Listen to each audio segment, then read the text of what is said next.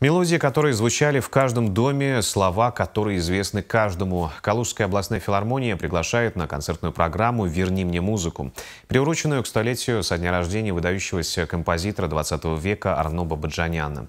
Народный артист СССР Арно Бабаджанян создавал произведения, которые были близки и понятны советскому народу.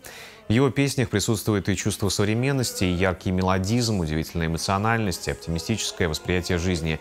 Именно поэтому произведения автора исполняли Муслим Магомаев, Иосиф Кобзон, София Ротару, Анна Герман и многие другие.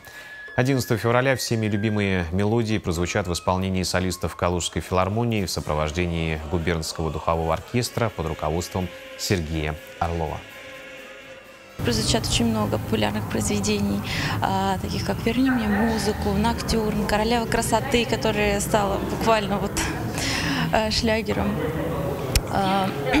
У нас много солистов, каждый из них уникален. А, я думаю, что концерт получится достаточно разнообразный. Те песни, которые пели в конце 20-го, в середине 20 века, они за счет своей уникальности, мелодичности и глубины, они с большим успехом перешли э, в наш 21 век.